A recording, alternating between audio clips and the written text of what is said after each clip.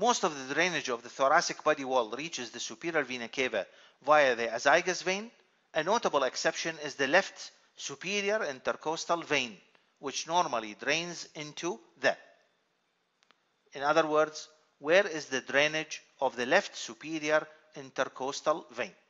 The left superior intercostal vein is the vein that drains the second and third, sometimes the fourth, left posterior intercostal spaces. Most of the other posterior intercostal spaces, whether on the right or the left side, they drain into the azygos system of veins. The azygos, hemiazygos, and accessory hemiazygos.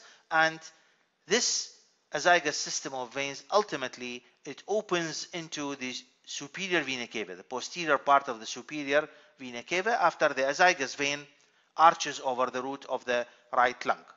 Here in this diagram, this is the left superior intercostal vein. It crosses over the arch of the aorta, over the left side of the arch of the aorta. As you can see here that the vagus nerve that crosses the arch of the aorta will be deep to the vein, while the phrenic nerve, which also crosses the arch of the aorta, will be superficial.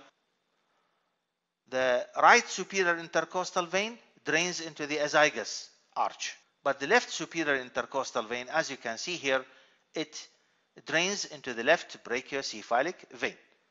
So if we look now at the options, superior vena cava is not correct because the superior vena cava receives, as I said, the azygos arch. Left bronchial vein, it does not drain into the left bronchial vein.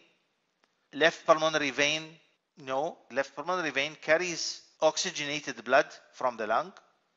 Left subclavian vein, it does not drain into the left subclavian vein, but it drains into the left brachiocephalic vein, which is formed by the union of the left subclavian and the left internal jugular vein.